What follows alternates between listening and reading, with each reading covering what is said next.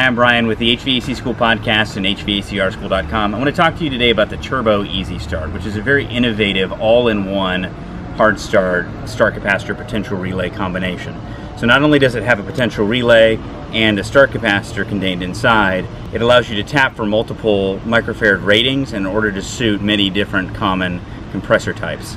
Another nice thing about it is that it's a metallized film capacitor, so it's been found to be much more reliable over the long run and also more reliable at different temperatures than the typical electrolytic capacitors that we see with start capacitors.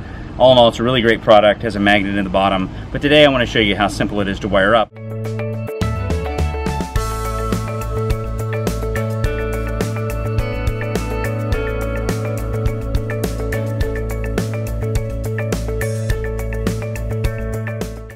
Familiar with the Turbo 200, it's a very similar technology where you have multiple taps in order to set in the microfarad rating of the capacitor. Inside this capacitor though, it has many other innovations. It has a potential relay built right in. It also has a metallized film capacitor instead of an electrolytic capacitor, which makes it much more reliable. And it has a nice strong magnet built right into the base. By jumping out various points on this capacitor, which are very easily described here on the side, you can make it anywhere from a 108 to 130 microfarad capacitor all the way up to 270 to 324 microfarads. They did multiple tests on the potential relay. In a hard start kit, one of the most important things is that the potential relay is high quality and that the contact points aren't going to stick inside the capacitor. So they ran cycle testing on this and used the potential relay that they found was the most reliable over the long haul.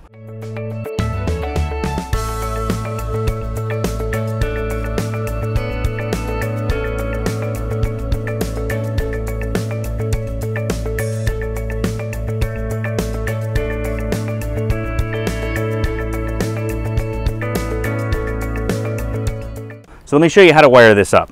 First off, you have to find out what the tonnage of the equipment is that you currently have. We've got a 24 ACC 460. This is a five ton unit.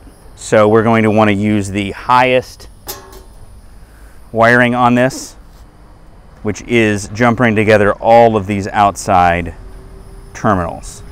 So you always use black and white. So white goes to the HERM terminal, Black goes to common on the capacitor to the C terminal on the run capacitor.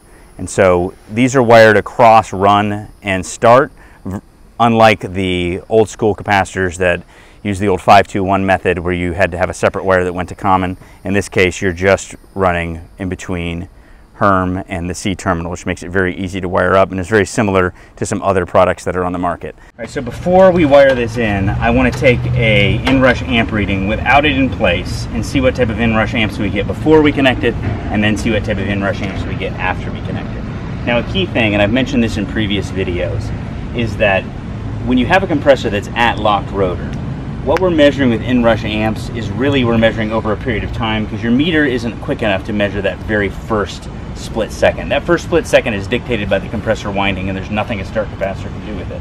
What a start capacitor can do is it can speed up that period of that initial starting in order to get it that compressor up to speed faster through a larger phase shift and we'll see that represented in the amperages. So first we're going to go ahead and do an inrush amps without.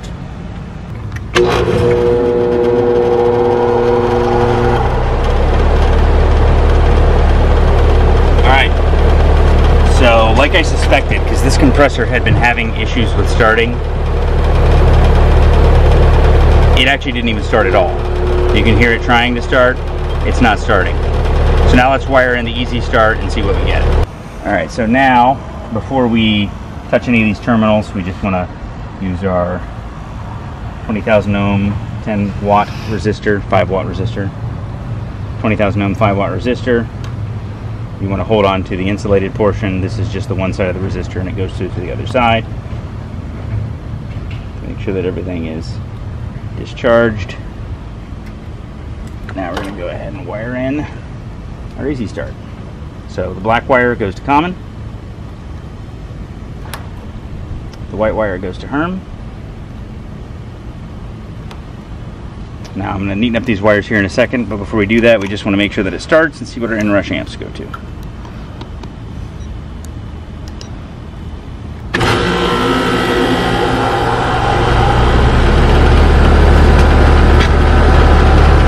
Starts right up, 77.2 amps. That's what we're looking for. As you can see, using the American Radionics AMRAD Easy Start is really easy to use. Uh, it's an all-in-one kit. You can use it for many tonnages, uh, and it's very easy to install with many different applications. Comes with everything you need. I'm Bryan with HVAC School. Thanks for watching.